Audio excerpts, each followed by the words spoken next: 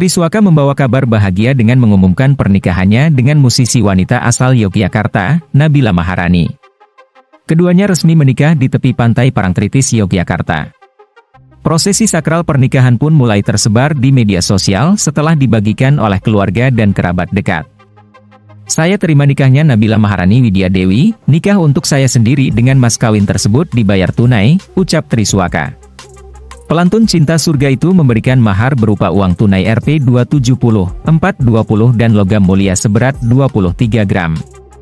Pernikahan tersebut membuat publik mulai mencari sosok serta jejak karir Nabila Maharani. Nabila Maharani dikenal publik sebagai penyanyi yang suka menyanyikan ulang lagu-lagu milik musisi lain.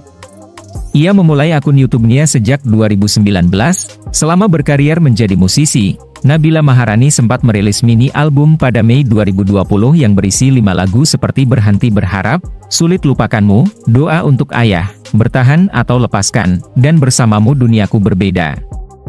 Wanita pemilik nama lengkap Nabila Maharani Dewi itu pertama kali bertemu Triswaka saat membuat proyek YouTube pada 2020 dengan nama Nabila Swaka. Kolaborasi keduanya menuai respons positif dari warganet hingga kini akun Nabila Swaka memiliki 4,94 juta subscriber. Berbalut busana putih dan dipadu kain batik, akad nikah Triswaka dan Nabila Maharani digelar di tempat terbuka dengan latar pemandangan pantai yang indah. Mengutip dari kanal Showbiz Liputan 6.com, Jumat, 28 April 2023, Nabila Maharani mengungkapkan momen sekali seumur hidup ini merupakan pernikahan impian yang selama ini ia dambakan. Nabila pernah bilang, wedding dream lah. Salah satunya di situ dan yang paling dekat, sebut Nabila saat wawancara virtual dengan awak media, Kamis, 27 April 2023. Diketahui Triswaka dan Nabila memang tak mengundang banyak tamu untuk hadir di pernikahan sakralnya. Sedari awal, pasangan ini sepakat menggelar pernikahan yang simpel dan sederhana. Kita memang gak ada share undangan. Emang acaranya kecil-kecilan, gak mau besar-besar. Yang penting menurut saya sah, menurut negara sah menurut agama sudah cukup. Sisanya tinggal upload foto aja kalau udah sah, jelas Triswaka. Untuk mas kawin pun Triswaka hanya memberikan uang tunai sebesar Rp 270, 420 bersama logam mulia seberat 23 gram untuk Nabila.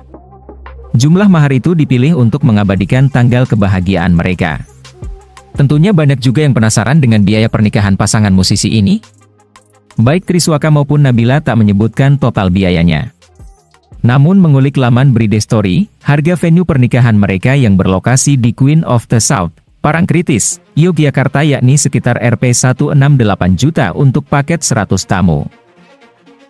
Detail paket Rp 168 juta yang ditawarkan di Bride Story tersebut sudah termasuk MC, foto dan sinematik, makeup artis, hotel termasuk makanan dan minuman untuk 100 orang, dekorasi, dan jasa wedding organizer. Tentunya jika menambah jumlah tamu maka akan dikenakan biaya lagi, di mana tempat akad nikah mereka di Queen of the South maksimal berkapasitas 500 orang.